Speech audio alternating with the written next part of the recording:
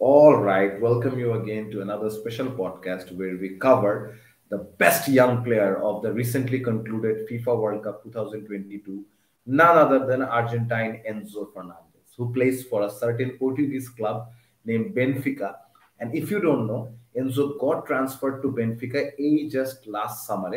Benfica PSG সাথে একটা গ্রুপে পড়ছে ইউসিএল এ এন্ড ওই গ্রুপের তারা গ্রুপ চ্যাম্পিয়ন আমার মেমরি বলে এনজোর একটা অসাধারণ ক্রস যেটা থেকে একটা হেডারে গোল করছিল Benfica I think it was not against PSG or was it Aki PSG most probably Juventus Juventus আমি ওই অ্যাসিস্টটা দেখার পরেই মানে I was like this guy has delivery but world কাপে ও my god he is not only delivered balls he is done so much so Aki you are pretty optimistic about Enzo actually যখন হচ্ছে আর্জেন্টিনার স্কোয়াডের one of the best player low sales injured হয়, তখন হচ্ছে আর্জেন্টিনার ফ্যানদের মধ্যে এমন একটা অবস্থা ছিল যে হ্যাঁ লো সেলসও গেছে শেষ শেষ ওয়ার্ল্ড কাপের আর কোনো আশা নেই।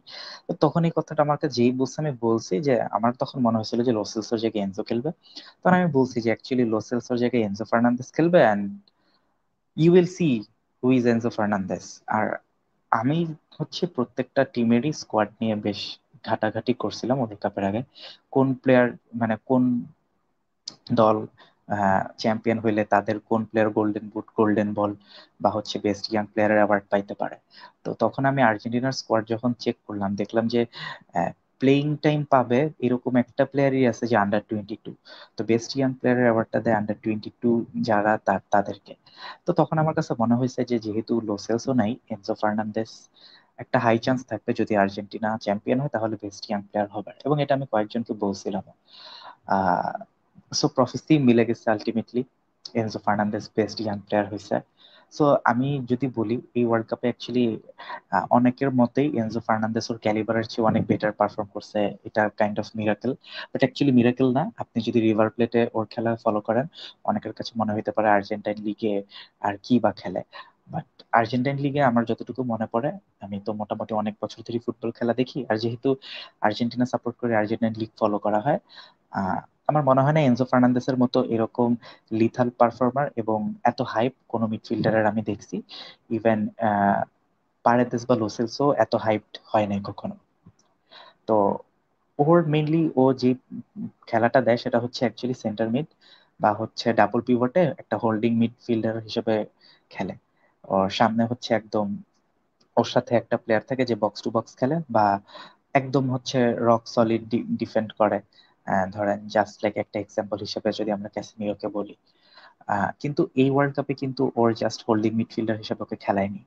এই ওয়ার্ল্ড কাপে আমরা দেখছি যে even as a CDM even বলতে পারি এটাকে পার্শিয়ালি থার্ড সেন্টার ব্যাক হিসেবে ওকে মাঝে মাঝে আমরা দেখছি যখন হচ্ছে দুইটা ফুল ব্যাক উপরে উঠে গেছে, তখন ওতামেন্দি আর রোমেরোর সাথে হচ্ছে আমরা ওই অলমোস্ট সেম লেনে বা একটু সামনে হচ্ছে আমরা এনজো ফার্নান্দেসকে অনেক দেখতে পারছি।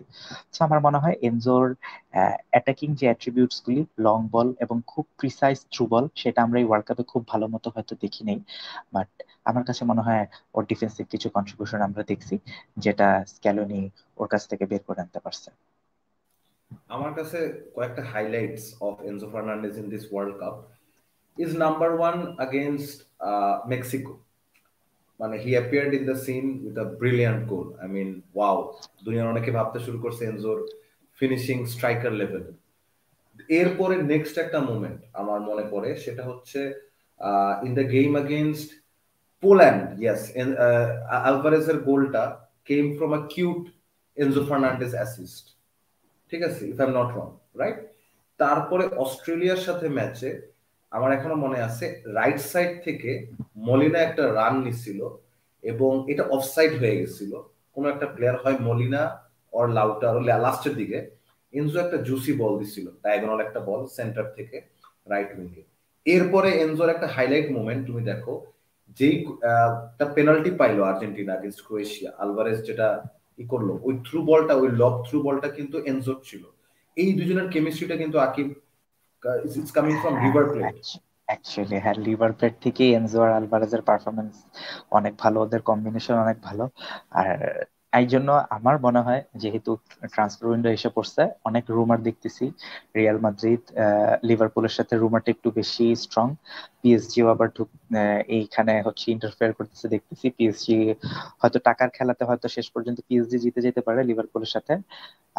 বাট আমার যদি পার্সোনালি প্রেফারেন্স আপনি একটা কথা বলেন, তাহলে আমি চাবো যে আলভারেজের সাথেই হচ্ছে, যাতে পেয়ার করতে পারে এনজো অনেকের মতে সিটিতে গেলে হয়তো টাইম পাবে না বাট টাইম পাবে, কারণ সিটির মিডফিল্ডারদের এজ হচ্ছে অ্যারাউন্ড থার্টি কেডিবি বলেন আর হচ্ছে বার্নার্ডো বলেন। বার্নার্ডো এখনও টোয়েন্টি এইট নেক্সট সামারে টোয়েন্টি নাইন হবে কেডিবি নেক্সট সামারে হবে থার্টি টু সো কেডিবির হয়তো গেম ডে আস্তে আস্তে কমে যাবে সো ওই জন্য আমি এনজো ফার্নান্দেসকে চাই যে সিটিতে যাক। তবে সিটিতে যাওয়ার একদম যদি একমাত্র রিজন আমাকে বলেন সো ফার আমরা লাস্ট দশ পনেরো বছরে যেটা দেখে আসছি পেপ গার্ডিওলার আন্ডারে মিডফিল্ডার সবচেয়ে বেশি ইম্প্রুভ করে।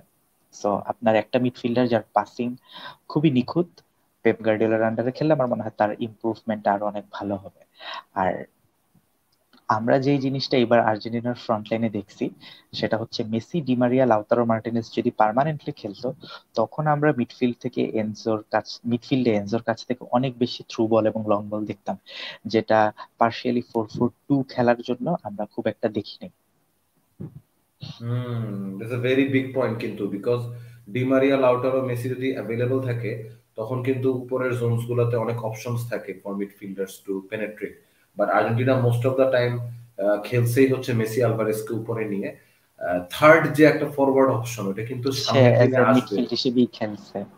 থার্ড মিড ফরওয়ার্ড যাকে নামানো হয়েছে পাপু গোমেজ বা কোরিয়া তারা কিন্তু অ্যাজ এ মিডফিল্ড হিসেবেই খেলছে ম্যাক্সিমাম টাইম মিডফিল্ড হিসেবে খেলছে এবং সামনের দিনে কিন্তু আর্জেন্টাইন ফুটবলে শোনা যাচ্ছে যে বেশ কিছু প্রমিসিং ফরওয়ার্ড এবং উইঙ্গার গার্নাচো সিমিয়নি এরা কিন্তু উঠে আসতেছে তাই না? তখন কিন্তু এনজো রোলটা স্ক্যারোলির টিমে আরও অনেক বেশি মানে ফুলফিলিং এবং ক্রিয়েটিভ হওয়ার চান্স বেশি।